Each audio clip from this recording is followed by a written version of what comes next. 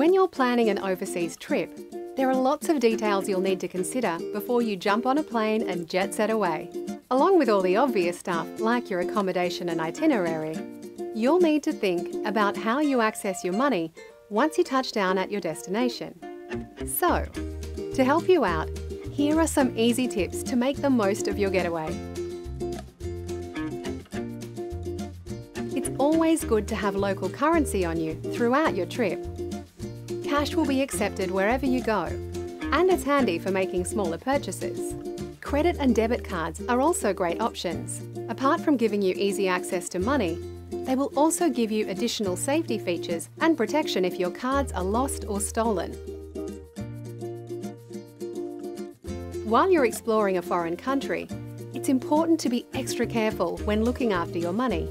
To reduce the risk of loss or theft, you could wear a money belt under your clothes or split your cash up to make losing all at once less likely. Another option is to carry only the amount you need and be sure to check what security options your cards offer. There are lots of different methods, so work out what works best for you. When using a debit or credit card overseas, your transactions will be converted to the local currency based on the daily exchange rate. That means you might not know how much something will cost in Australian dollars until it shows up on your account. Another option worth investigating is a prepaid travel card that'll let you buy foreign currencies at a fixed rate. Whatever card you use overseas, there will be additional fees you should be aware of. These could include a foreign transaction fee, withdrawal fees, and cash advance fees.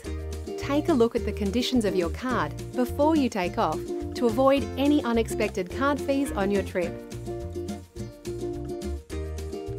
Finally, before you leave, make sure you let your financial institution know where you're off to. By knowing where you are and where you're going, they can help ensure your money isn't blocked due to suspicious transactions on your account. Want to find out more? Visit newcastlepermanent.com.au.